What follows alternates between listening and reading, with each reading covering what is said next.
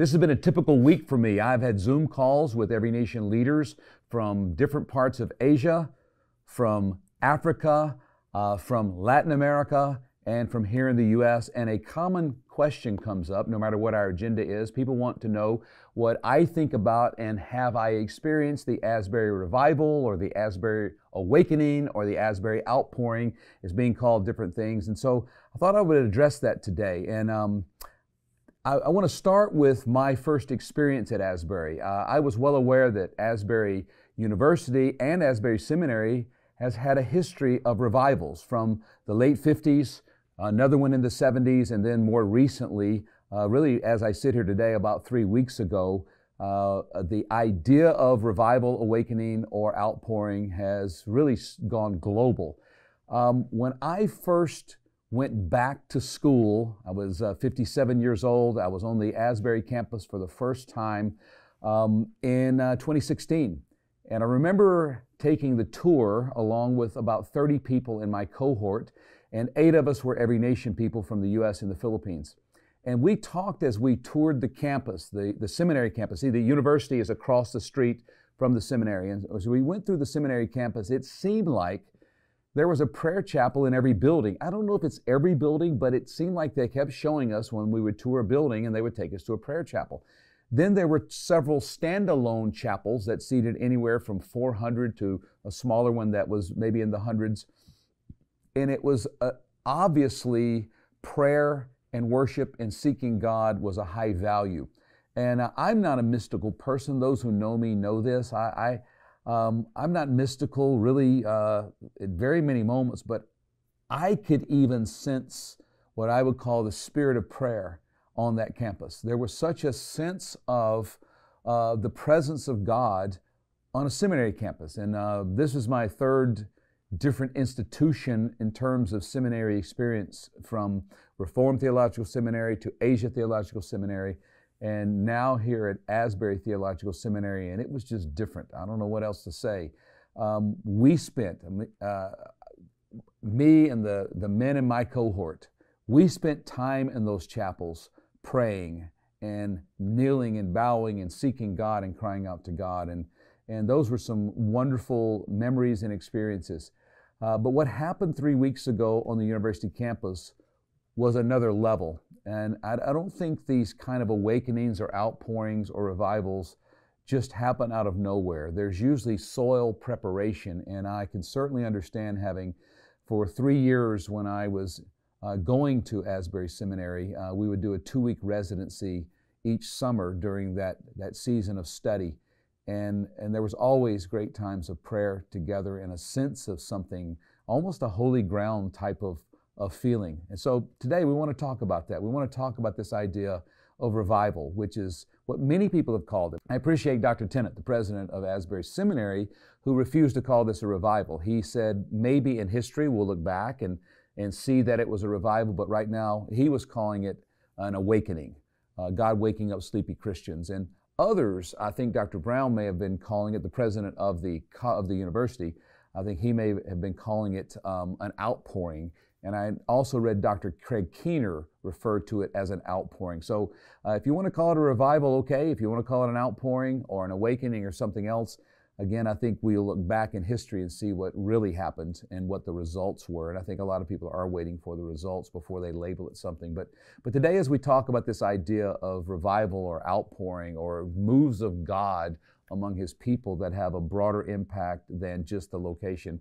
I've got two friends here, two colleagues who have both been there and experienced it. Uh, Dr. Delvin Pikes is actually uh, serves on the board of regents or the board of directors, whatever it's called, at the university. Yeah. And uh, you can talk about that in a minute. And but we were classmates at um, in the DMin program, and we experienced chapel and prayer and all of that together. And Delvin works here in Nashville as our Every Nation Campus Director for all the universities in this area in Middle Tennessee, and then Nick Jones. Uh, Nick is my colleague here in Nashville and a joy to work with. Nick is our camp is our director of Every Nation Campus North America. And Nick canceled classes. Uh, we've got 20 some students here um, in our in our campus ministry school, and Nick said, you know, instead of sitting in classroom talking about revival, let's just close campus.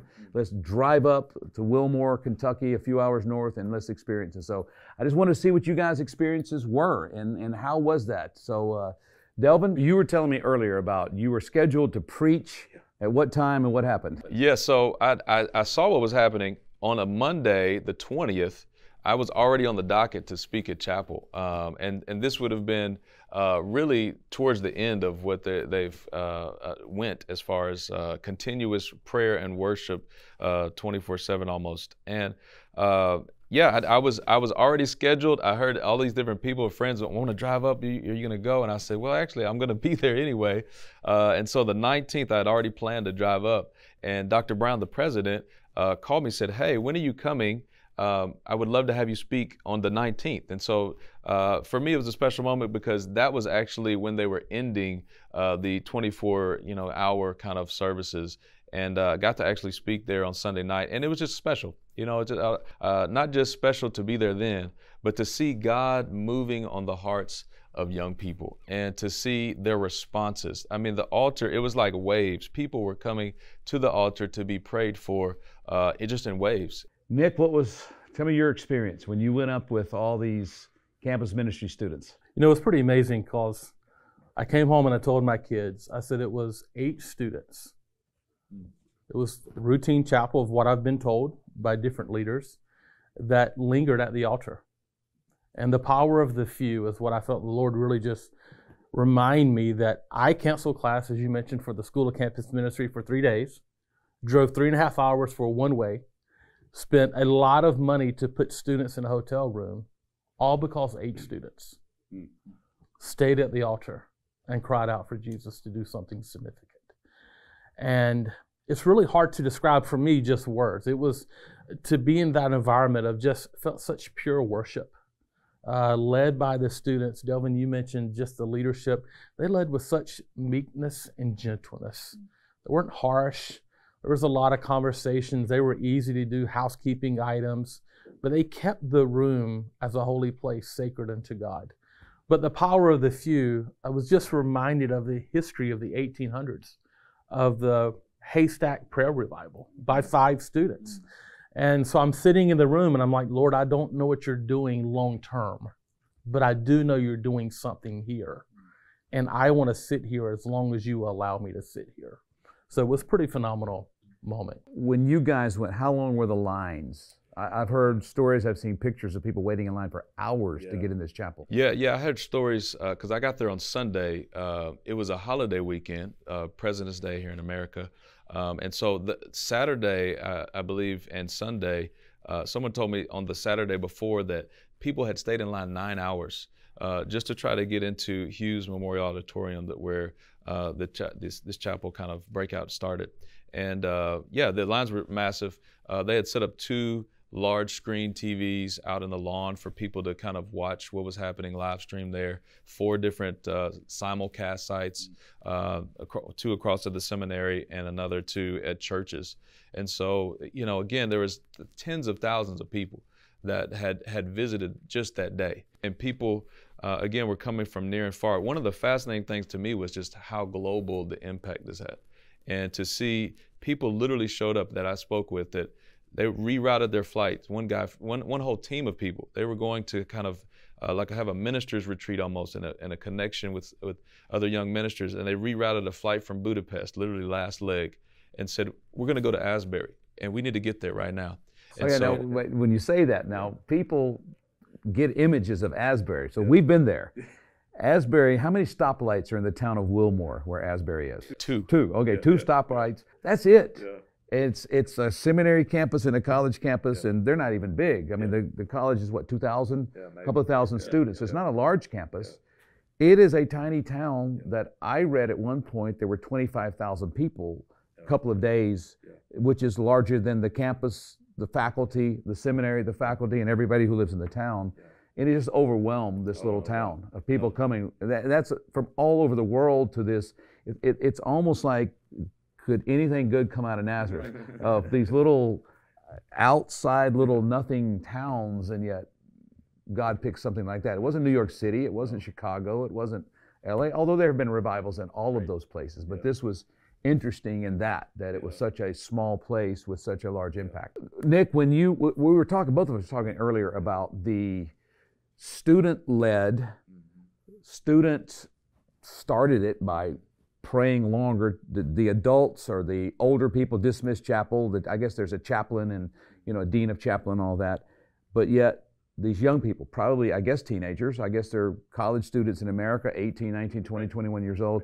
Um, decided they needed more. They prayed more. Um, I know both of you all were talking about how the administration were guiding but kind of staying out of the way and allowing the students to lead and all that. What, what, what did you see about that? What can we learn about that? Yeah. Well, I think, imagine you've got a 1,500 seat auditorium with a balcony. Okay. So, what do we think? Maybe 1,200 seats on the bottom floor, the rest in the balcony. The university reserved I think probably the first eight to 10 rows for college students only uh, throughout the 24 hours. Unless you're a college student, you cannot sit in those seats. But then at nighttime, the chapel service got packed uh, around the 5 p.m. time frame. It was like if you're going to get into Hughes Auditorium, you need to get before 5 p.m.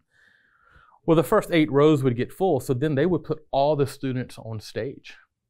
So you've got students all behind the small worship team that's leading us into worship. And the whole time I'm sitting there thinking, man, is someone else going to help take over? Hmm. But I just felt the Lord just really challenged me and say, hey, this is the generation you're trying to reach. They have a voice. Hmm. Let them speak. I'm speaking to them and through them and to you. And so that was powerful for me just to sit back and receive. I felt like the heavens were open. I mean, I was just scribing the entire time I was in the room. But then when they were assisted, and I think that's important, they were assisted. The students led this. Mm-hmm. Uh, different staff, at the university, when they assisted, it was with such gentleness and they help usher in different moments. And the last day I was there, I had a chance to meet uh, Delvin's friend, Dr. Brown, the president of the university, and it was a very casual and quick conversation. I just said, Thank you for protecting this for the next generation. And his wife uh, looked at me and said, Thank you for saying that. We just left a meeting trying to figure out how to do this because, as you mentioned, Delvin, there were thousands of people in line, various ages, trying to get into this. But the university, in my opinion, did a stellar job really fighting to keep this student led. And I know there's criticism coming from everywhere. Any any time God does something, there are professional critics. And so I know that Dr. Brown, as the president, and the other leaders got criticized uh, brutally for even allowing this to happen. Okay, so that was wrong. But then others criticized him for what they said, shutting it down. When really it wasn't shut down, it was we want to preserve this for the students. And, and I read I read what Dr. Brown wrote. I was very impressed uh, uh, that he put on what he, what he put out was we are stewards of these students and this campus, and what we want is for what's happening here to spread to other university campuses. And and and he was it was a leadership lesson for me how focused he was on the people he was called to and everybody else wanted a piece of it. And they tried to do that the best they could, but ultimately, uh, what I heard in what he was writing, I'm going, I, I, I get that. I'm going to give an account to God and to my board and to the people who put this institution up for these people, yeah.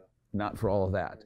And I think sometimes people want to take things and we think bigger is always better, and it's not necessarily. What is our stewardship? And I, I was really respected um, Dr. Tennent and Dr. Brown for the way they approached that and, and tried to accommodate but stayed focused on who they were called to reach.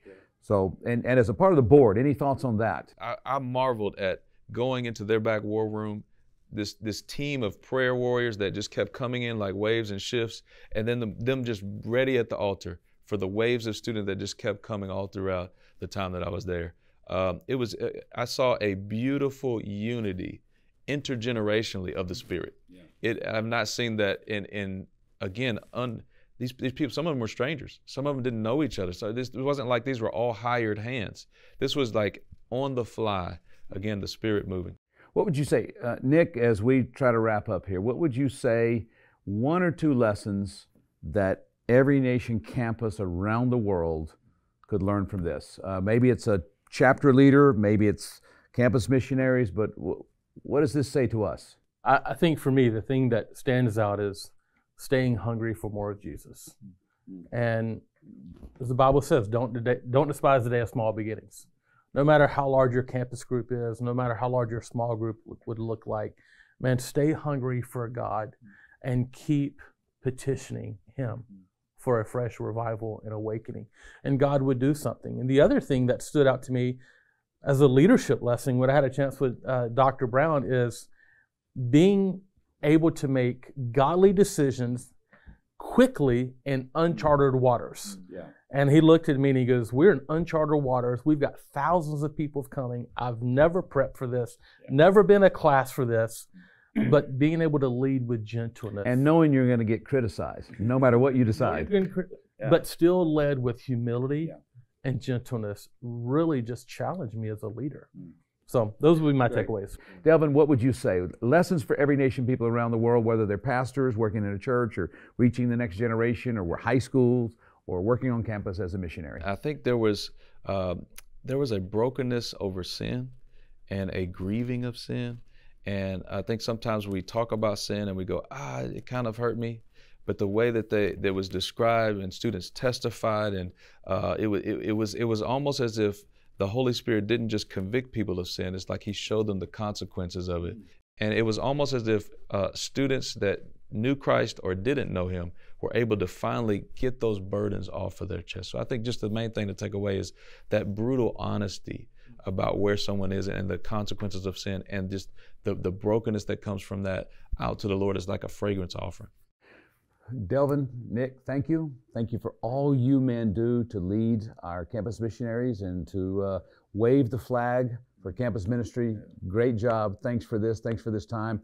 And as we as we wrap up, uh, several lessons here. When I think about the revivals that that I've read about in history coming out of a Wesleyan holiness movement, um, obviously, typically they start with repentance, and there's a, a, a, deep sense of repenting, turning from sin, and crying out to God.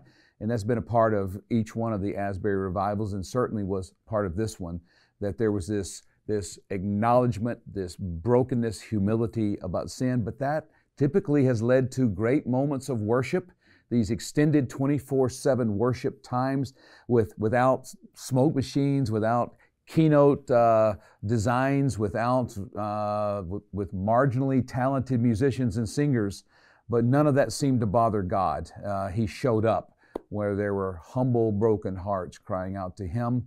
But there was also the lesson of the multi generational uh, engagement on this, of the the elder statespeople, the more mature, older um, pastors and professors and, and administrators and presidents giving guidance but not control, allowing the Holy Spirit to control and allowing the students, the next generation, to lead. And boy, as a leader, that's a great lesson for us. I think about um, I was empowered in my uh, late teens and early 20s in ways that very few people are allowed to be empowered anymore. But what God can do through people that age, if we will just kind of step back and coach and not control, uh, I think we'll be amazed at what God might do. So, um, this is what we pray for, believe God for, uh, live for, seeing something like this, and I'm trusting it's going to spread to campuses all over the world right now. It started bouncing to Christian colleges all over America.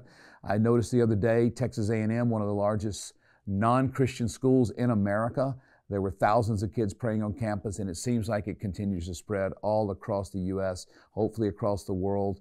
Uh, it's amazing what God can do through students. Listen, at every nation, we always say it like this we keep one foot in the community, one foot on the campus. We are called to uh, plant churches and campus ministries in every nation. And I trust that we will do that with a greater measure than ever before, believing for an outpouring of His Spirit on every one of our campuses.